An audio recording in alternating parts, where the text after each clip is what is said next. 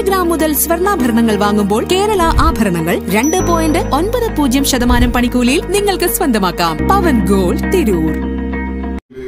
ജനങ്ങളെ പ്രതിനിധീകരിക്കുന്ന M L എമാർ അതിൽ മന്ത്രിയായവരുണ്ട് സ്പീക്കറായിട്ടുള്ള ആളുകളുണ്ട്. ഇവരൊന്നും പൊന്നാനിയിലെ തീരപ്രദേശത്തെ പാവപ്പെട്ട മത്സ്യത്തൊഴിലാളികൾക്ക് വേണ്ടി എന്താണ് ഇവർ ചെയ്തത് എന്ന് ഞങ്ങൾ അവരോട് ചോദിക്കാൻ ആഗ്രഹിക്കുകയാണ്. ഈ പതിനേഴ് വർഷക്കാലത്തിനുള്ളിൽ ഇവർ പതിനെട്ട് പ്രപ്പോസലുകൾ മത്സ്യത്തൊഴിലാളികൾക്ക് വേണ്ടി കൊണ്ടുവന്നു. ഈ പ്രപ്പോസലുകൾ കൊണ്ടുവന്ന പ്രപ്പോസലുകളിൽ കേവലം ഒന്നോ രണ്ടോ പ്രപ്പോസലുകൾ മാത്രമാണ് ഇവർ ഇംപ്ലിമെന്റ് ചെയ്തിട്ടുള്ളത്. ആ ഇംപ്ലിമെന്റ് ചെയ്ത പദ്ധതികൾ ഒന്ന് ജിയോ ബാഗുമായി ബന്ധപ്പെട്ട ഒരു പദ്ധതിയാണ്. ആ സിസ്റ്റം കൊണ്ടുവന്ന് വളരെ ചെറിയ ഒരു പീരീഡിനുള്ളിൽ അത് നാമവിശേഷമായി എന്നുള്ളതാണ്. പിന്നെ കൊണ്ടുവന്ന പദ്ധതി ലേറ്റേഴ്സ് പ്രൊട്ടക്ഷനുമായി ബന്ധപ്പെട്ടിട്ടുള്ള ഒരു കാര്യമാണ്. അഴീക്കൽ കുറച്ച് കല്ലിട്ടു. ഏകദേശം ഒരു പതിനേഴ് വർഷങ്ങൾക്കുള്ളിൽ പാവപ്പെട്ട മത്സ്യത്തൊഴിലാളികൾക്ക് വേണ്ടി ഈ ഇടതുപക്ഷ ഗവൺമെന്റിന്റെ എം എൽ എമാർ നമ്മൾ കേരളം ഭരിക്കുന്ന പ്രത്യേകിച്ച് മന്ത്രിസ്ഥാനത്തിരുന്ന സ്പീക്കർ സ്ഥാനത്തിരുന്ന ആളുകളൊക്കെ ഉണ്ടായിട്ട് പോലും മൂന്ന് കോടി രൂപയോളമാണ് ആകെ ഈ പത്ത് പതിനേഴ് വർഷക്കാലത്തോളമായി ഇവർ ചെലവഴിച്ചത്. ഇപ്പോൾ പറയുന്നു പത്ത് കോടി രൂപ മത്സ്യത്തൊഴിലാളികൾക്ക് വേണ്ടി അവർ പാസ്സാക്കിയിട്ടുണ്ടെന്ന് പറയുന്നു. പക്ഷേ ഇപ്പോഴും അതിന് ടി എസ് കിട്ടിയിട്ടില്ല. മത്സ്യത്തൊഴിലാളികളുടെ കാര്യത്തിൽ ഇടതുപക്ഷ ഗവൺമെന്റ് പ്രത്യേകിച്ച് പൊന്നാനിയിലെ എം എൽ എമാർ കാണിക്കുന്ന ഉദാസീനത. അതിന്റെ ഏറ്റവും വലിയ ഉദാഹരണമാണ് പുനർഗ്രഹ പദ്ധതി.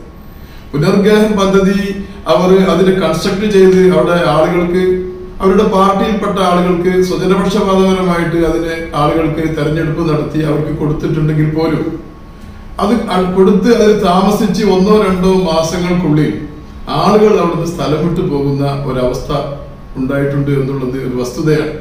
ആളുകൾ പറയുന്നത് അവിടെ താമസിച്ച ആളുകൾ പറയുന്നത് ഇതിലും ഭേദം പൊന്നാനിയിലെ കടൽ പ്രദേശത്ത് താമസിക്കുന്നതാണ് ഇതിലും ഭേദമെന്ന് പറയുന്നത് കാരണം അതിന്റെ കൺസ്ട്രക്ഷൻ എല്ലാ ബിൽഡിങ്ങുകളുടെ എല്ലാ ഫ്ലാറ്റിന്റെ എല്ലാ ഭാഗങ്ങളും വിണ്ട് പൊളിഞ്ഞു നിൽക്കുകയാണ്.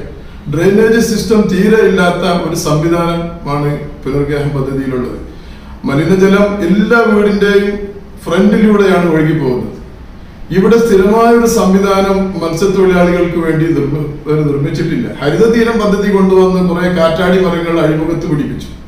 അഴിമുഖത്ത് കാറ്റാടി മരങ്ങൾ പിടിച്ച് പിടിപ്പിച്ചപ്പോൾ വാണിജ്യ തുറമുഖത്തിന്റെ പേരിൽ അതൊക്കെ നശിപ്പിച്ചു അതൊക്കെ വെട്ടി നിരത്തി എന്നാൽ കടൽ ഭിത്തി ശാശ്വതമായി എല്ലാ വർഷവും ഈ കടൽ ക്ഷോഭം മൂലം ആളുകളുടെ സ്വത്തും ജീവനും ഒക്കെ നഷ്ടപ്പെടുകയാണ്. എന്താണ് ഈ എം എൽ എമാർ ചെയ്തിട്ടുള്ളത്?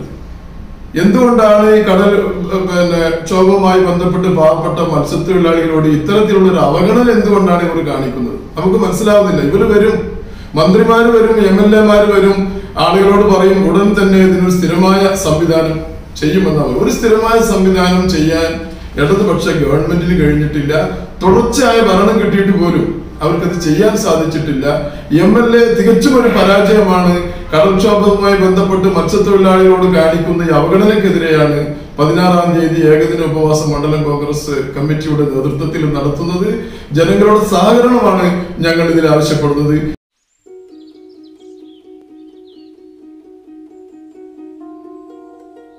Wedding haldi bridal shower post wedding plan ചെയ്യാൻ ഇനി എന്തൊക്കെ കാര്യങ്ങളാ? ഇതൊന്നും അല്ല മക്കളെ കല്യാണം. മുട്ടും പാട്ടും സൽക്കാരും പന്തൽ നിറയെ ആളോളും നിറഞ്ഞു നിൽക്കുന്ന ആഘോഷമായിരുന്നു ഞങ്ങളെ കാലത്തെ കല്യാണം. നമ്മുടെ ഫാമിലിയിലെ കല്യാണം പോലെ അല്ലേ മൈലാഞ്ചി മൊഞ്ചും മണവാട്ടിയും സൽക്കാരങ്ങളും ഒക്കെ ആയി കല്യാണം പൊടി പൊടിക്കാണ് ഫാമിലിയിൽ. എന്നാ വിട്ടാലോ കല്യാണം കൂടാൻ? എന്റെ ഫാമിലിയിൽ കല്യാണം. Family wedding centre.